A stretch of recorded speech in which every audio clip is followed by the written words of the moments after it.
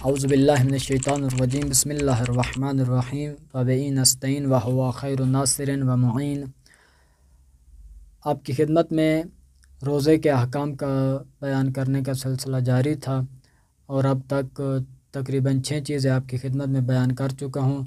सबसे पहले, रोज़े की तारीफ़ रोज़ा किसे कहा जाता है? उसके बाद रोज़े की अकसाम कौन कौन सी हैं? वाजिब है, मुस्तहब है, हराम मकरू है और उसके बाद तीसरी चीज़ आपकी खिदमत में, हराम रो, वाजिब रोज़ों की तादाद, वाजिब रोज़ों की अकसाम और मस्तहब रोज़ों की अकसाम बयान हुई थी।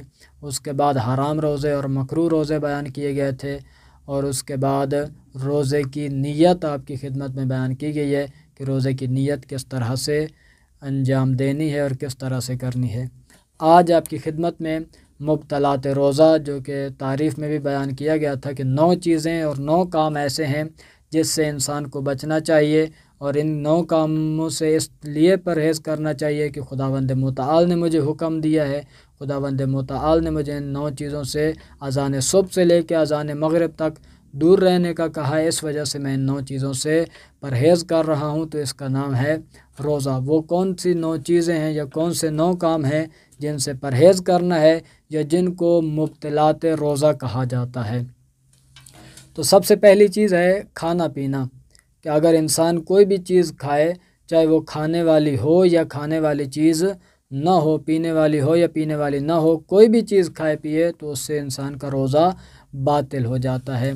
दूसरी चीज़ है कि इंसान खुदावंद मताल रसूल अक्रम वसल्लम या फिर जान जानशीन रसूल अक्रम सल्लल्लाहु की तरफ़ झूठी नस्बत देता है, किसी कौल की, किसी फ़ेल की, कि ये काम रसूल अक्रम वसल्लम ने किया है, जबकि रसूल ने ना किया। ये रसूल अक्रम सल्लल्लाहु ने कहा है जबकि रसूल अकरम वसल्लम ने वो ना कहा हो, खुदा ने ना कहा हो जानशी ने रसूल अकरम वसल्लम ने वो बात ना की हो, ये अपनी तरफ़ से गाड़ के उनकी तरफ़ मंसूब कर रहा हो तो इस झूठी नस्बत देने से, झूठ मंसूब करने से भी रोज़ा बातिल हो जाता है।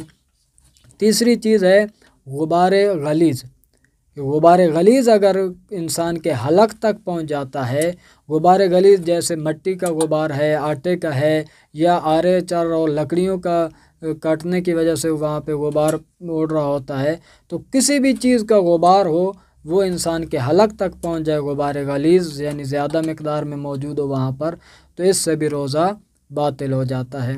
चौथी चीज़ है जो मुबतलात रोज़ा में से है, वो है कि इंसान अपने पूरे सर को जानबूझकर पानी में डबो दे, पानी में पूरा सर डबो दे तो इस सर डबोने से भी रोज़ा बातिल हो जाता है। पांचवी चीज़ जो मुबतल रोज़ा है, वो है उल्टी करना। अगर कोई इंसान उल्टी करता है तो उल्टी करने से भी रोज़ा बातिल हो जाता है। उल्टी करने के बाद छठी चीज़ है अमीज़श। अमीज़श से भी रोज़ा बातिल हो जाता है। सातवीं है इस्तना और आठवीं है हैज़ या जनाबत की हालत में रोज़े के अजान सब तक रहना।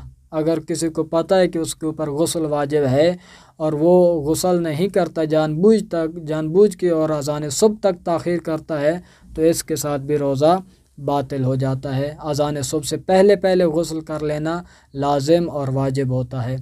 आखिरी चीज़ और नौवीं चीज़ जो है, वो है किसी लिक्विड चीज़ से माया चीज़ के साथ इमाला करना।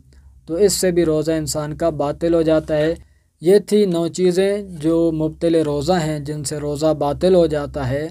बाद में इन इन तमाम चीज़ों की वज़ात आपकी खिदमत में पेश की जाएगी। दुआ गो हूँ खुदावंद मताल तमाम ममिन की इबादत अपनी बारगाह में मंजूर व मकबूल फ़रमाए और हमें सही मानों में रोज़ा रखने की तोफ़ी अता फ़रमाए कि जिस रोज़े का नतीजा तकवा और मकाम तकवा है कि हम इस रोज़े के ज़रिए से मकाम तकवा को हासिल कर सकें। वालकम वरहमल वर्का